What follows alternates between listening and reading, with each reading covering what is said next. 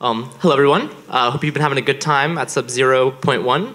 Um, yeah, in general, this is a Substrate conference. Um, if you you've heard a lot of people building um, on Substrate, but I think the thing kind of maybe less spoken is you know the fact that you know a lot of people are interested in building on Substrate because of Polkadot, this kind of, this kind of larger network.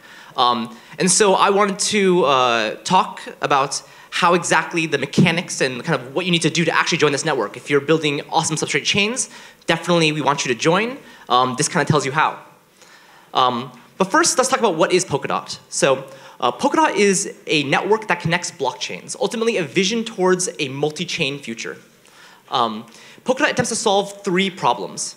First being interoperability, the ability for blockchains to talk to one another, scalability, the ability for these blockchain distributed systems to do more, and shared security, basically trying to avoid different blockchains from competing over like you know, scarce resources, things like users or computation or stuff like that. Um, but I think it's also important to try to argue why we think there's a multi-chain future ahead of us. Well, I think first we definitely know that the blockchains will be in our future. And it's because blockchains ultimately solve trust problems. You know, they're open, they're decentralized, um, they enable uh, people to interact in a way where they can have less trust and more truth, right? Um, and then specialization, I think we can help solve scalability issues. Like really, when we're talking about um, specialization, a blockchain that tries to do everything doesn't quite do anything the best. And as a result of trying to do everything, it's just not as performant. If you can specialize the blockchain, configure it to be doing its one task the best it can, you can actually gain performance and as a result gain scalability. And then if you have all these specialized blockchains, ultimately interoperability is what adds the real world value. You know, these individual blockchains, these individual pieces of logic doesn't really um, add value to the overall network. But when you can have them talk to each other, communicate, and actually use each other, that's where the real, real world value comes from. And so this is kind of a, a, picture maybe you've seen before about Polkadot. Um, you can see in this middle we have the relay chain. Um, this is itself a blockchain, and all around it are all these parachains. Um, there's a lot of mechanics and stuff around this, but you know the, the truth is there are a lot of people in this room who want to be this square right here, one of these parachains. And I'm trying to um, explain, you know, what does that even mean, right? Uh, and I'll try to oversimplify it to try to get across the message of why you might actually want to be a parachain and why building on Substrate may enable you to do that. So what does it mean? So as a parachain, first you get the opportunity to put your blockchain's latest blockhead onto the relay chain. Easy enough. Next, as a parachain, the blocks you submit are verified by validators using a WASM runtime you're able to store on the relay chain. So if you're familiar with Substrate, you know that your runtime is composed of WASM. This WASM is stored on the relay chain, and it gets verified by validators. Um, finally, you get the ability to communicate with other parachains using an abstract message passing system. Great, but what do these things actually mean? What are the underlying messages here? Well, because you can place your blockchain's head onto the relay chain, you can actually achieve deterministic finalization for your chain. This means that you can like offload consensus, the, the, the hard part of trying to reach finalization, to this shared network. Um, because the validators have the WASM runtime for all the parachains, you actually share the security of the validator pool with everyone on the relay chain. Anyone in this large validator pool can help validate your blockchain. Finally, um, because message passing is tracked on the relay chain, you can actually prove the delivery of messages. And this really facilitates trustless interactions. And this is such an important part, which is so hard to achieve on these distributed blockchain systems. Great, that sounds awesome, right? So everyone should become a parachain. Well, unfortunately, there's some scarce resources here. Polkadot has n squared complexity. So as we add more parachains, it becomes increasingly harder to add a next one. Things like networking, message passing, block size, they can all limit what a single relay chain can do. Um, we have ideas, I mean, I, again, I, uh, this is way above what my pay grade, but um, ideas of these nested relay chains where you have the actual Polkadot relay chain, and again, it is just a blockchain. So connected to it could be another relay chain. And you can have these kind of um, ecosystems, right? Like a gaming relay chain where all these other parachains to this relay chain um, are gaming, and then you have a DeFi relay chain. This all finally connects to the main Polkadot relay chain.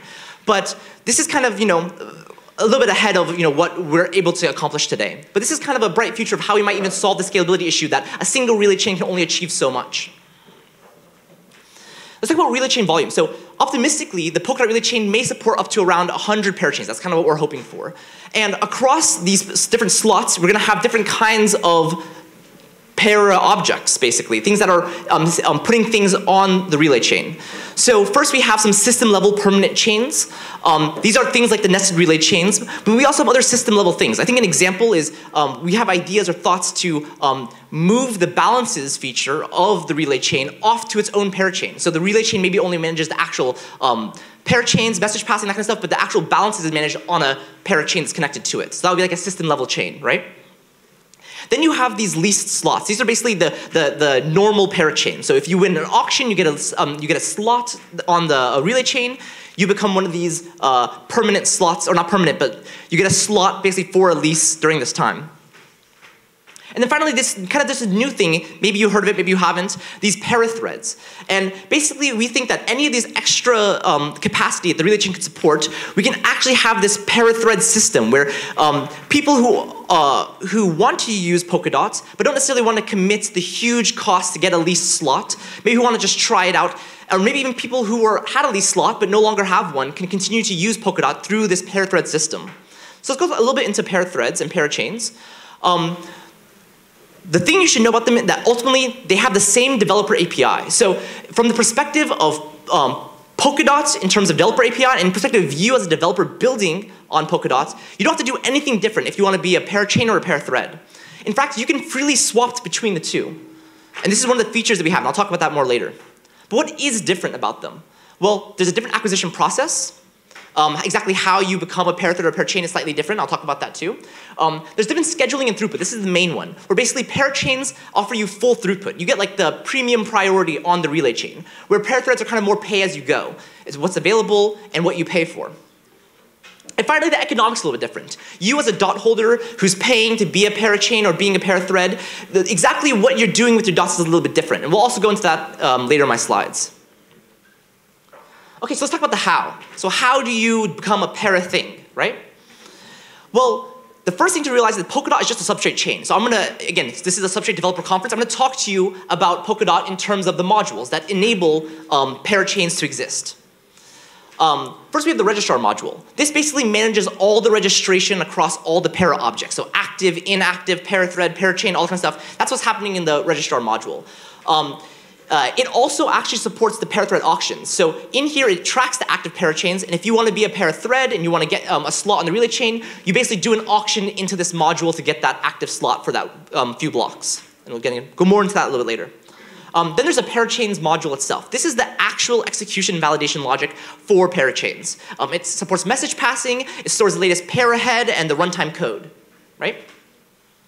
Then we have a slots module. The slots module is actually what handles these more complicated parachain auctions. Um, it manages parachain slots and even holds the deposit. Um, when uh, you win a slot, it will hold your deposit into this uh, module. Um, and finally, we actually have a crowdfunding module. And this is a really cool thing I'm not sure many people are familiar with. Um, the crowdfund module allows the community to fund your parachain auction. So you, you as a person may not have like um, all the money for your great idea, but you have the great idea and you have the developer expertise you can actually use the community to fund and back your parachain auctions. Um, and ultimately, this crowdfund module helps you do that by collecting the funds, putting you into the auction, and track community contributions. Okay, so we're gonna go kind of deeper into all of these things. First, let's talk about para auctions. So the parachain auction mechanism. So the parachain auction mechanism uses a candle auction. A candle auction is this auction where basically, I think back in the day, they would light a candle and they would do some bidding. And basically, whenever the candle went out, this is kind of a random time, the, um, the auction would close and whoever was last bid would win. And for the same reason, and yeah, and I'll talk a little bit more of that, but that's kind of the idea here that we don't quite know when the end happens. Um, this kind of auction is initiated by governance, so maybe a democracy proposal, maybe, I don't know if there's, there probably won't be ever sudo, but you know, you can basically say, hey, there's more room for more parachains, governance can go through and initiate a new auction.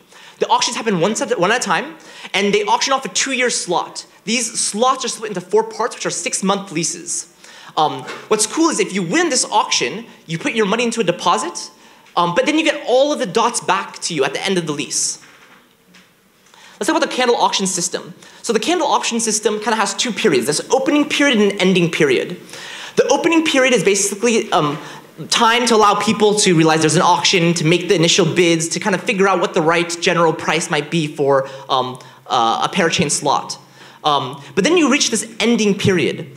And um, this ending period goes, um, is, is known, it's fixed, um, and anytime during this ending period, it could randomly close.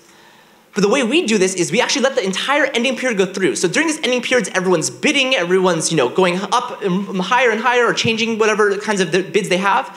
And then once the ending period is over, we then retroactively decide what the ending block is. So whatever the winner is of that block, that's the winner.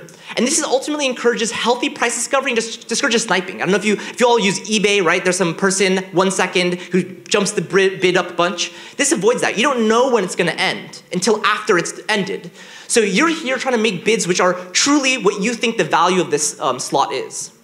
This also helps mitigate the effects of malicious block producers. So um, as a block producer, you ultimately have the ability to maybe ignore a transaction or not produce a block or do any of those kind of things. If a block producer doesn't know when it's going to end, they don't really have the incentive mechanisms there. They just want to collect their fees, right? So it kind of helps that. Um, another thing is that this kind of mechanism doesn't require a commit reveal scheme. So I think there's another auction called like a Vickrey auction, where basically you can like, um, you know, have some kind of, um, say I have some bids, it's you know, um, encrypted or you know, hidden, and at the very end everyone reveals their bid and all kind of stuff. That's kind of a two message process. Here is just a one message process. You can make an initial bid and you can win, not having to do anything else. So let's talk about the mechanics of the parachain auction.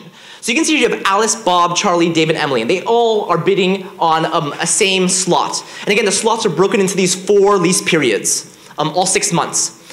Um, you'll see that um, a person will say what lease periods they're interested in and the bid, the amount of dots they're willing to deposit to, for those lease periods. Now, what might be confusing at first is that this isn't like a normal kind of bid that be broken up like this. Like you see, Alice here has bid 200 for four slots. Alice isn't saying, "Oh, I'm willing to pay 50 dots per slot." Actually, Alice is trying to say, "I'm willing to lock 800 dots worth of value." That for each of these quarters, um, she's um, she's willing to keep 200 dots locked away right? So you can see here, if you um, have four slots and you bid 200, you actually have a locked value of 800. Whereas if you only try to pick one slot or one a quarter, and you only say locked in 200, you see the locked value is only 200. Of course, we try to maximize the, the auction mechanism, tries to find the right pairing of people. So, you know, like Bob and Charlie would be paired together, Dave and Emily would be paired together, Alice would be on her own, um, and try to figure out ultimately what is the, the largest total among this. So, even though someone like Dave has the largest bid, when paired with Emily, who has a relatively small bid, the overall total value, locked value here, is less than what Alice would have done. So Alice would actually be the winner in this pair, parachain auction. Does that make sense? Mostly? Okay, nodding heads, good. Um, Okay, let's talk about allowed bids. So we actually have some limitations on what kind of bids you can have. So first, you can have multiple bids for the same slot. So um, you can, you're able to say, make a bid, say, I want all four quarters, I want all three quarters, I want two quarters, that kind of thing, and have different amount of bids, um, bid price on each of these things. So maybe like, if you're able to obtain all four quarters, you're willing to deposit a lot more. But if you only have, you know, two quarters, that's fine, but you're not willing to pay as much for that, right? Um, but there are some things. First, ranges must overlap i.e., you cannot have bid three and bid four. Uh, you, you, see that bid three and bid four would basically give um, Alice the full four quarters, and that would conflict with bid number one, which is asking for the same thing. Also, you can't, um, you must have continuous lease periods. Basically, we don't want people to have like Q1, then not Q2, and then Q3, Q4, because this is like an onboarding process, offboarding process, onboarding process. It's not really a natural flow for being a parachain. Cool. And so again, this auction system is great, but to be honest, it's probably going to cost quite a bit of dots to be able to get into this WINS auction. So if you don't have the funds yourself, you can crowdfund your parachain. You can actually allow the community to give back to your parachain and um, allow you to win these auctions. Um, the incentive mechanism here is basically to reward those users with your native token. Um, and then um, the crowdfund um, module automatically handles the rest of the auction process for you. So let's take a look at the mechanics of that. So um, if you want to start a crowdfund, first you must make an initial deposit. Basically, you know, we're trying to, I guess, prevent Sybil attacks and you know, try to um, make you pay up front for the kind of costs that it, do, it costs on the relay chain for doing a crowdfund. Um, and once you make the initial deposit, anyone can contribute. But you must at least contribute a minimum contribution. So there's a minimum contribution limit for that basically is the cost of us tracking someone's contribution um, to your uh, crowdfund. Um, Every time a new contribution happens during an ending period, it triggers a new bid, so it's automatically bidding for you, basically. Um, and then uh, when you make a crowdfund, you set an end date, a specific end date. And this end date can actually span multiple auctions. So you can have an end date which goes, they say, over two auctions. And if you don't win the first one, maybe your crowdfund will win the next one. You'll see there's the initial deposit, the amount raised, and there's also a cap. So you cannot raise more than the cap. So I know some things like GoFundMe or some of the other crowdfunding services allow you to go way over the limit. We actually limit that if you say um, very firmly at the beginning how long the crowdfund is for, how much I want to raise, and that really gives a good idea for people who are backing you what is going to happen, what they expect to happen when they support your crowdfund. And the mechanics run, so ultimately the module generates a child tree. Um, if you want to learn more about child trees, I have a talk tomorrow as well um, about storage. But we have a child tree which tracks user, user contributions. If you know anything about Merkle trees, basically you can use the hash of this Merkle tree to verify um, any of the contributions in the tree. So someone can say this tree off chain, and we can use this, um, this uh, tree head to basically verify, yep, these are all the bids, these are real people who've contributed. Your crowdfund can be a success, as in you win one of these auctions, or a failure, as in you reach your end date and you never won one of these auctions. Um, but you know, in either situation, you'll eventually retire, right? And when you retire, basically, people um, can recollect their funds. It's nice. And finally, if you're not able to do a crowdfund, if you're not able to um, get enough initial deposit to win the auction yourself, the final option we have for you is a parathread auction. Um, the parathread um, system in general is much easier to um, enter. Um, it first it uses an English auction. This is the very standard auction where everyone's raising their hand saying, I bid higher, I bid higher until someone wins. Um, pair need to lock um, a nominal deposit which can be refunded. So again, in order to become a parathread, you really, has a much, much lower amount of dots you really need. the auction itself happens every block. And the number of winners um, in a thread auction is determined on your thread count. So how much availability there is on the pair, um, on the relay chain itself, can we can have a fluctuating thread count, and basically, um, however much we can support, we will support winners to join and put uh, and participate in the network. Um, and in this situation, whereas um, in the parachain auction, dots are returned to you, you're actually paying fees here. So the dots used in the bidding system for the parathread auction are actually consumed. So um, the way that it's currently um, programmed in Polkadot is that 20% of this contribution goes to the block producer. So whoever produces the block that you want an auction in gets a nice little bonus. And then the other 80% goes back to the treasury, which is, of course, we know um, funds, more community um, things, and basically as a way for Polkadot to give back to people who want to build on it. Um, so the mechanics of a parathread auction.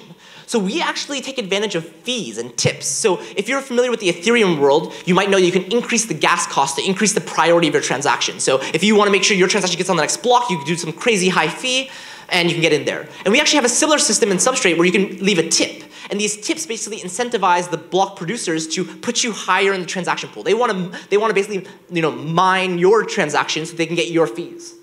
Um, in this case, you have Alice, Bob, Charlie, Dave, and Emily again. They're all making this call to select parathread. This is basically making a call to a bid. But you can see that Alice, Charlie, and Emily have all made a tip to say, hey, you should consider my transaction a little bit more than the others. And as a result, in the transaction pool of Polkadot, Alice, Charlie, and Emily are higher than Bob and Dave. In our virtual situation, we have a three parathread cutoff. So basically, we just have some logic that says, hey, the first three people in this transaction pool who made this call are the winners. It's that easy. So you can see here, this kind of auction happens every block. And there, there's a natural um, economy that's happening around the fees, right? Like in situations where there's lots of traffic for a parathread slot, the fees just go up. Um, when there's not a lot of traffic, fees go down. It's possible you could win a slot without paying any extra fees at all, right? And this is kind of a really cool natural system. In order to do this, we have this signed extension logic. I think I'll go a little bit into it. It's actually a cool feature I don't think anyone else is gonna be talking about Substrate, and it's quite a little bit technical. Um, so winning a parathread auction. So if you win the slot, great. You'll be queued to submit a new um, head on the next block. So you can make a bid on one block. The next block, you'll figure out if you won or not. And then you actually get four slots to submit your new head. So um, if you miss your slot, you get three additional retries. It all works. So here, you can basically just have some window of opportunity to um, uh, put your new head onto the relay chain. So um, this kind of window here is basically allowing for any type of network propagation, time for you to collect the block, that kind of stuff, right? It just gives you a little bit of leeway. Does this make sense? Good? Nodding heads? Okay, great. Um, okay, so then let's aside. So um, I don't think this is talked about any time else at Sub-Zero, and of course this is a developer conference, so let's talk about some of the developer tools. Something that's new in Substrate, which didn't exist in the last Sub-Zero, is this thing called signed extensions. We actually use this for this parathread auction system, and it's quite clever. Um, this is the function for a parathread auction. You can see, besides the function header here, it doesn't, there's no logic. If we read the comment code, says everything else checked for in the transaction signed extension. So how can we use this no code to do a cool parathread auction? Well, basically, we take advantage of this new um, signed extension feature. The feature in general is a way for transactions to be extended. Um, in one literal way, you can add extra data to your normal extrinsic format for your blockchain. So if there's something about your blockchain where like, I always need this extra piece of data in there, you can do that. Um, but in addition, there's this validation function which allows for transaction queue to quickly eliminate transactions based off some logic that you decide. So if we take a look at this, you can verify implied information about the signature. This is um, an example of a checking replay attack. So we use it for checking replay attacks. Um, so if you're building different substrate chains, um, you know, might know that the transactions might actually work on other substrate chains if we didn't check that the transaction has encoded into it the information about the, um, the genesis block.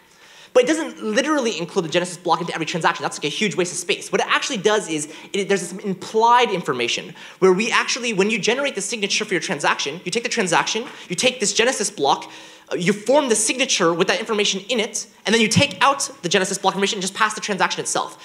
We know on our own substrate chain what the Genesis block hash is, so we can add it back and then do the signature, signature verification in that way. So you can actually kind of sneak in some data, or you can actually have literal data there and have that be verified. But you can see this is kind of a cool feature. Um, you can also increase, decrease priority in the transaction queue. So this is the whole fee system, right? So if you, we have implemented fees using the signed extension, if you add a fee, we will make sure it gets to the right block producer, and we will basically uh, increase the priority of your transaction queue. Um, you can also decrease the priority. If for some reason you can detect some data in there is you know, really crap, you can decrease the priority of, um, of a transaction before it even gets to your network, right?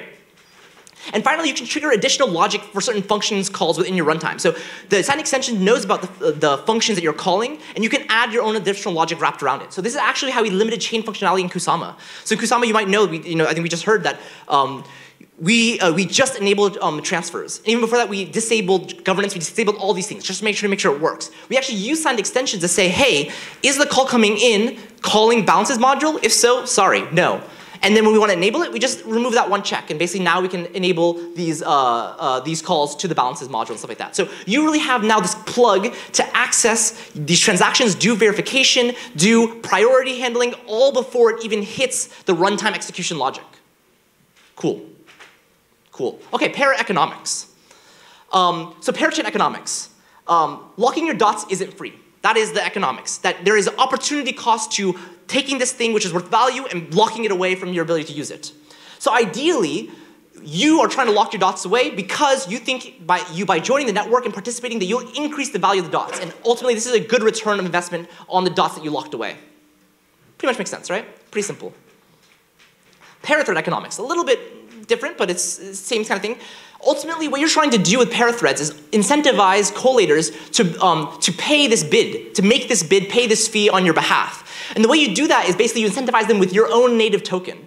So native token payout can be the transaction fees collected in that block, that totally makes sense, but can also be some additional logic that you add to your um, parathread with like some parathread token sponsorship, where basically, um, you can see here the graph, this is the value in dollars, um, this is the number of relay chain blocks since last finalized parathread head, and the longer and longer your blockchain hasn't finalized, or um, hasn't put a block on the um, relay chain, the more this function will want to pay the user who does it.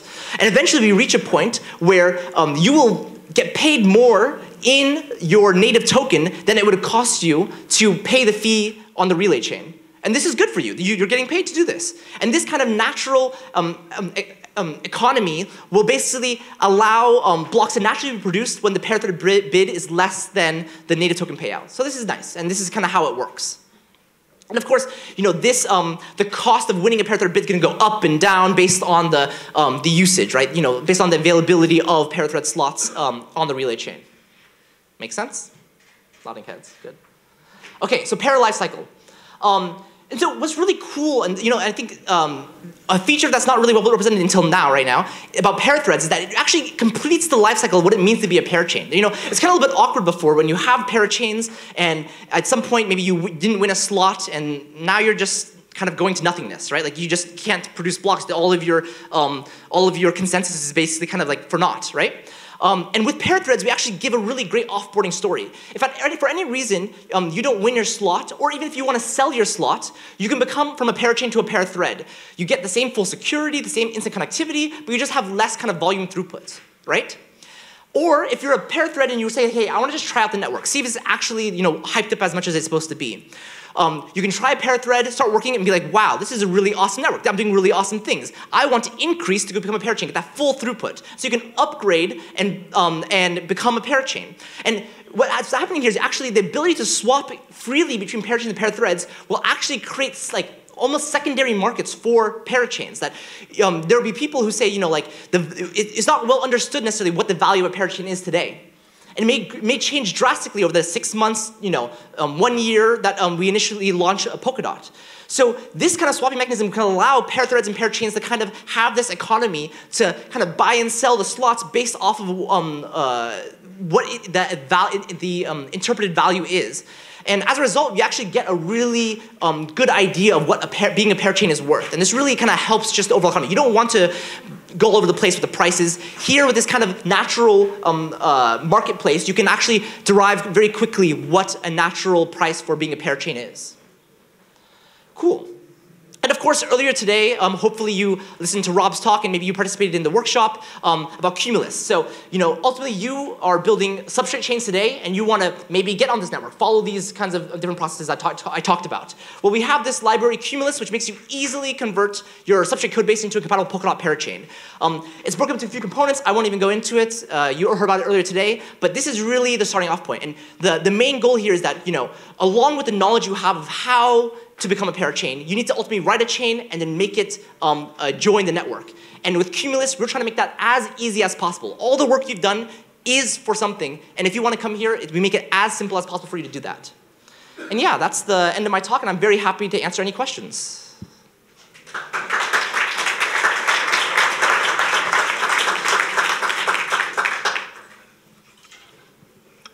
I'm Julio. Um, how much do you estimate is going to be like a minimum amount for the crowdfund? Is it? Yeah, so that's a, that's a good question. I can work a little bit backwards from that. So to win a crowdfund, you need to win the pair, parachain auction.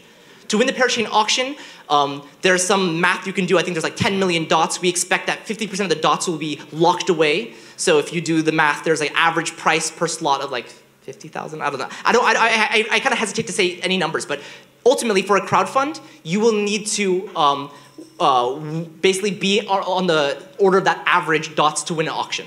Does that make sense? Yeah, okay.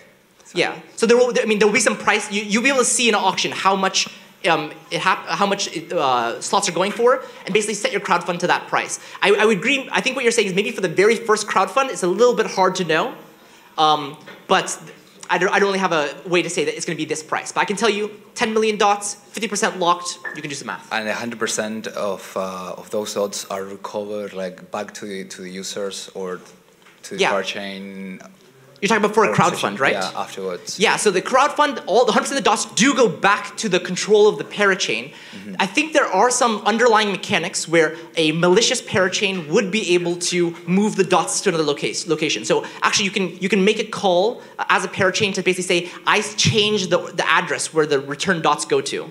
Um, I think things like governance can handle these kind of malicious parachains, help recover the funds from a user. But at the end of the day, if you don't do anything and you do, like do the natural process, yes, funds will go back into the account, and naturally the module which handles um, of the um, the crowdfunding will allow users to recover their funds from that automatically.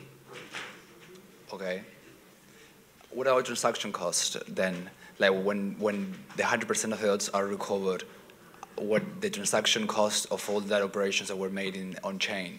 Yeah, I think I think there's a there's a nominal. You basically make one call, and I'm sure there's a fee for that. But we actually do some logic in the um, in the code itself to reduce the fees of transfer. So we don't, for example, we don't charge you a transfer fee. Um, but we, I think we do obviously charge just a normal call fee. It's going to be the cost of a transaction. Like it's going to be like one small small uh, cost to make one call to recover my funds. Yeah, it's going to be minimal.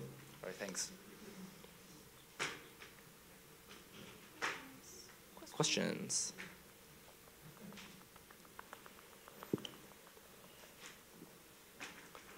Cool, we have a question there.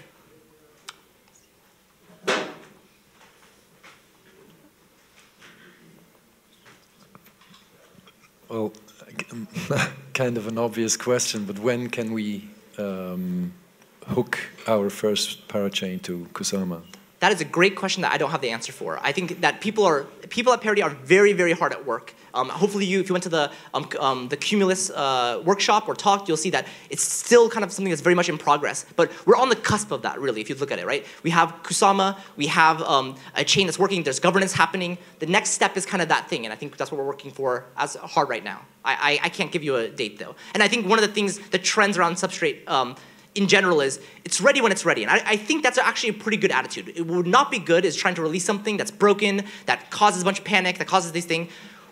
We have ideal milestones and kind of things we're gonna strive for, but really it's ready when it's ready. And I think that's the best thing for the community.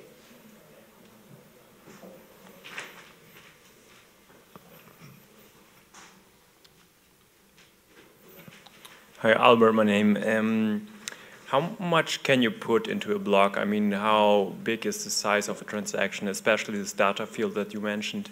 How yeah. much can I put on extra data in there?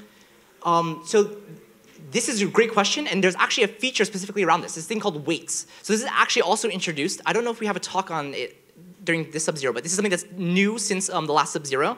Um, and this weight mechanism basically allows you as the, as again, the runtime developer, as the blockchain developer, to determine exactly what these um, weights are. So there is an overall weight limit to um, your blockchain, how much a block can have. You can set that.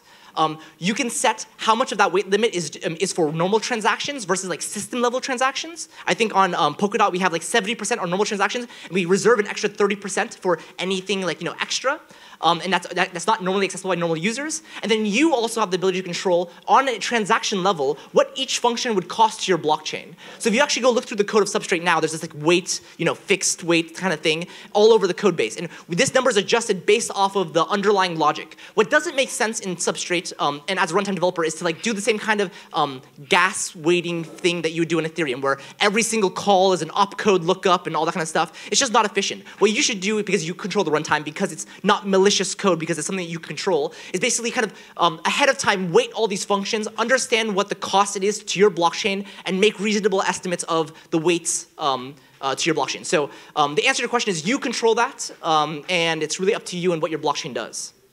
Thank you. Yeah. Are, there any profiling? sorry, sorry, Mike. Oh, sorry. Are there any profiling tools that help on that side? I think that's all in progress stuff. I mean, the, the weight things is, is, relatively new. I know internally, um, one of the things we've been doing is we've been um, we created some scripts which basically um, sends thousands of transactions to various functions, trying to see what the cost um, of you know increasing the database is, random cost of the function being called over and over is, that kind of stuff. And we we have some rough estimates of what the weight is there. But I, I assume as time comes, these kind of tools we develop internally or externally, and we encourage everyone to if you if this is something that you're familiar with, absolutely go ahead and go wild. You know um, we could definitely use it. I think that what we do right now is a little bit um, uh, immature.